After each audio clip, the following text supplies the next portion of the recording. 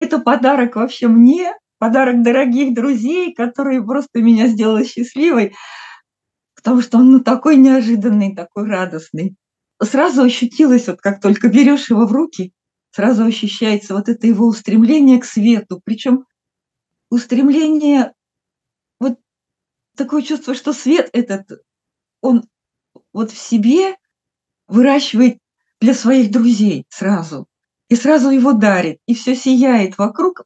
Он сам сияет. Он такой сиятельный. И глаза его сияют и весь он сам сияет. Ну, такое, ну, просто чудо, волшебство. И так получилось, что этот день от друзей, вот с этим чудесным подарком я пошла к внукам. И у нас получилась такая чудесная игра в день рождения дельфиненка. Вот эта песня «Что такое день рождения», которая прозвучала не один раз, потому что был день рождения младшего внука это было ну просто чудо и волшебство. Вот такая встреча вместе с детьми, вот с этим сказочным героем.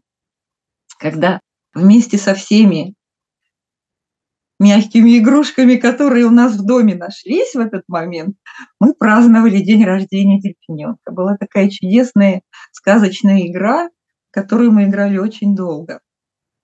Вот и ощутилось, что это друг, который объединяет сердца вот в самом лучшем, в самом добром, в самом светлом, в самом радостном, в самом таком чудесном и волшебном. И, по сути, в самом главном, вот в этом желании дружить, желании делать друг другу подарки, радовать друг друга. Вот в этом он объединяет всех-всех, наверное. Вот кто? Ну, нас вот точно объединил, меня с моими малышами дорогими. вот в этот день. Это было очень радостно, очень счастливо и очень-очень здорово. Такой волшебный проводник и в сказку, и в дружбу, и, правда, в сказочный мир.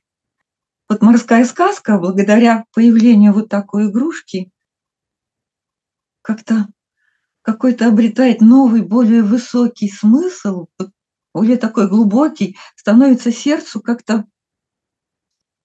более значимой, что ли. Я даже вот не знаю, ну такой ценной, такой важной, такой дорогой. Благодаря вот этому ненаглядному другу.